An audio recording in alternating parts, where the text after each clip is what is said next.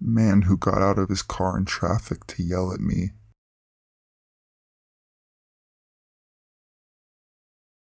This actually happened in May, but I still think about it and it freaks me the heck out that people have so much rage in them over trivial shit.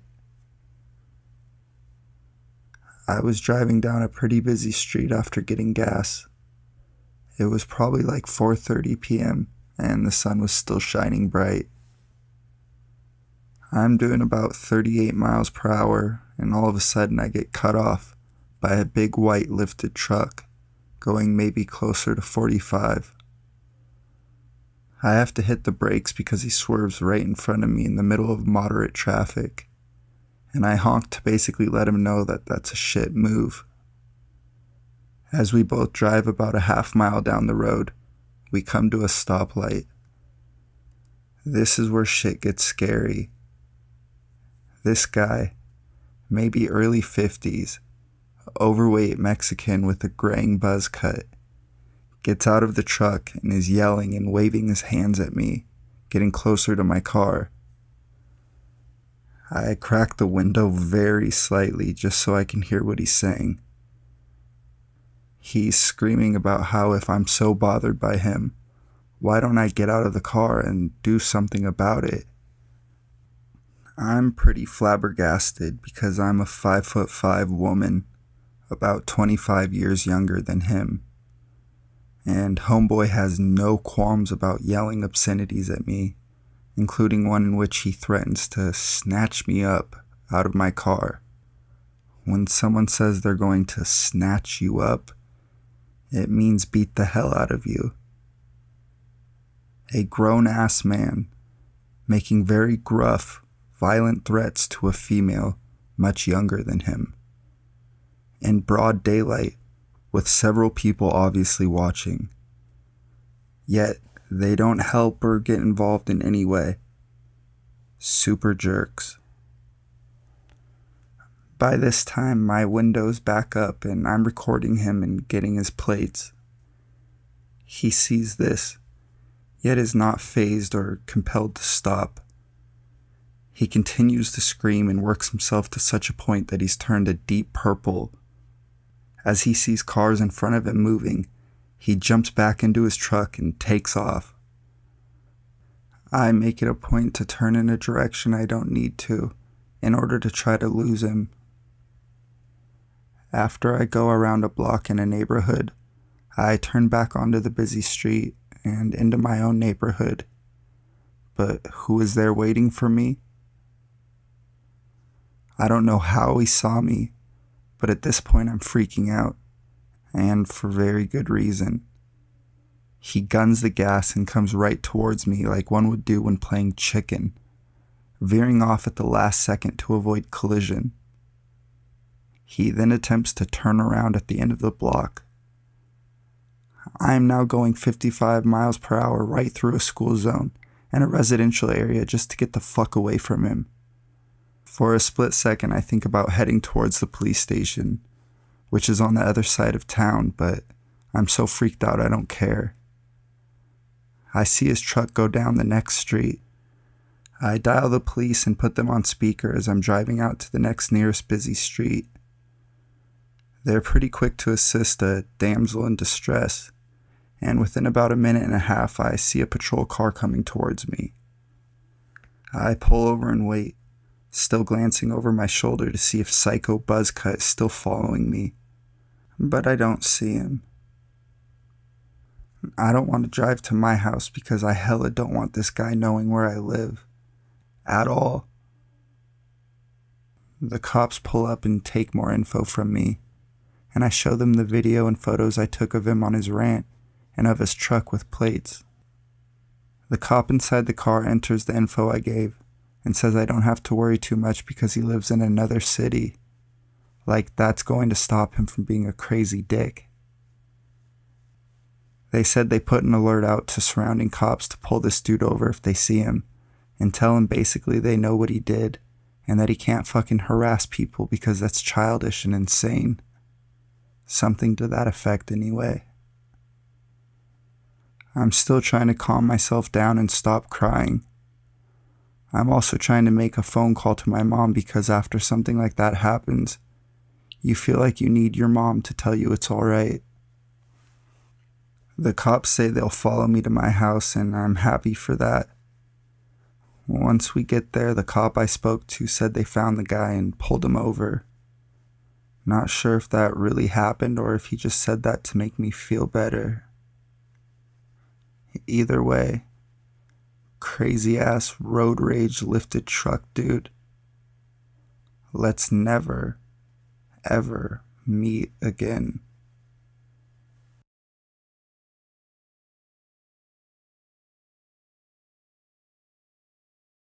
I think a nun tried to steal my baby.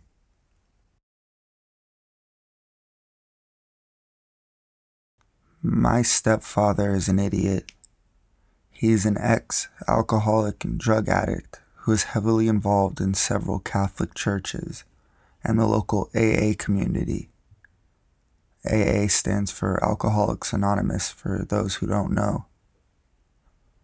The drugs and alcohol must have seriously fried his brain because he still has really bad judgment and decision making skills, especially when it comes to people. He has brought so many sketchy people into my life. Thank God nothing serious happened.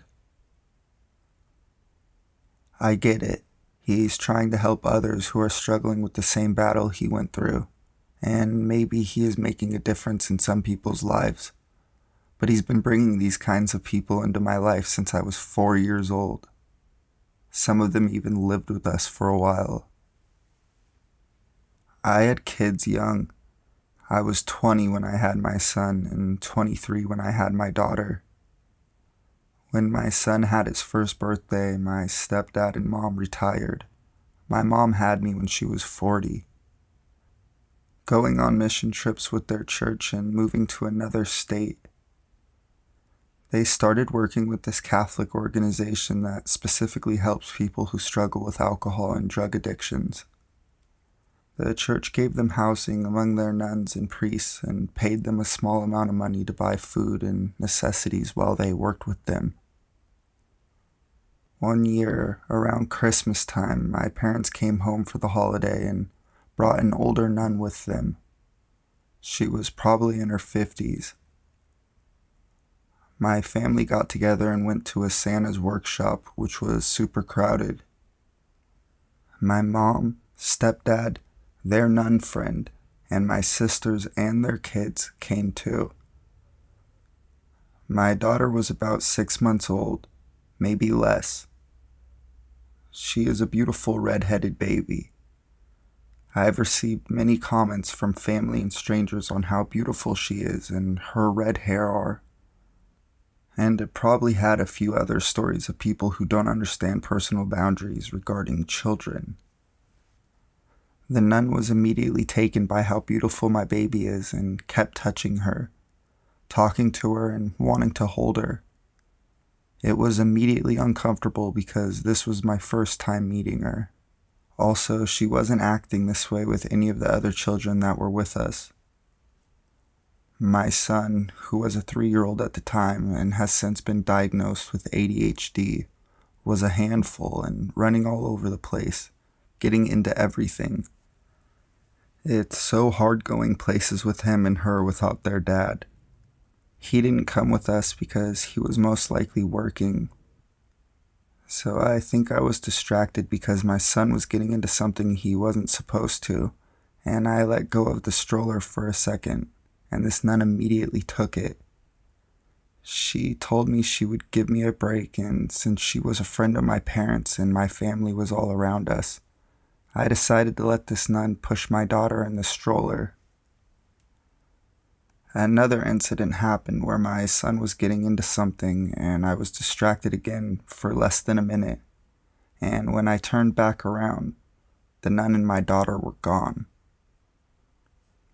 I freaked out, and my whole family was still around me, and no one knew where this nun went. She didn't say anything to anyone about leaving. My family and I immediately started looking everywhere. Luckily, there was so many of us and found the nun at the front of the building, right near the exit. It was terrifying. When we found her, she said she was just taking my daughter on a stroll. I decided to leave right after that happened, and so did everyone else in my family. And luckily, I haven't seen her since. So, yeah, creepy old nun that knows my parents. Let's not meet again. Edit. I posted this as a comment response, but somebody suggested I add it to my post. I forgot to mention some of the weird comments the nun had made to me. How if she hadn't become a nun and had children, she imagined they would look just like my daughter, because red hair runs in her family. Another small but interesting detail is my oldest sister, who was there too, with her three kids, also had a baby girl who was only a couple months old at the time. I don't understand why the nun latched onto my daughter in particular, other than her having red hair. Is hair color that big of a deal? Or would it have been because I was a young mother and didn't have their father with me? Update I called my mom today and asked a few questions about the nun. I believe she legitimately is a nun. She worked with their organization and was introduced to them by another nun and priest they know. She frequently worked with them when they lived in Maryland, setting up retreats and meetings for addicts. At one point, the nun had planned to go on a mission trip with my mother, but something came up and it didn't happen. My mom and stepdad moved around a lot during their retirement and haven't talked to her since they left Maryland, which was about two or three years ago. They recently moved back home and left that organization, and my stepfather works for a whole new one, doing similar work, and my mom is fully retired.